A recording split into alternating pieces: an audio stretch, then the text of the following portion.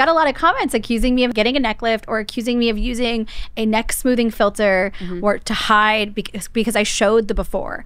And people didn't believe it. When I found that neck cream, it came in, I started using it. I posted it online and it went viral so quickly. Mm-hmm. And I think it really, truly went viral because of how effective this product is. I have the pictures, I have the proof. The thought that I would actually have a neck lift just to sell a cream, just to promote a $49 cream. If that's what someone's going to say, what a compliment to this product. Mm-hmm. Because I didn't get a neck lift. If I had plastic surgery, you're going to know about it because I'm an open book on my page. I've tried so many neck creams and that didn't work for me. So I'm Yeah. absolutely going to try it.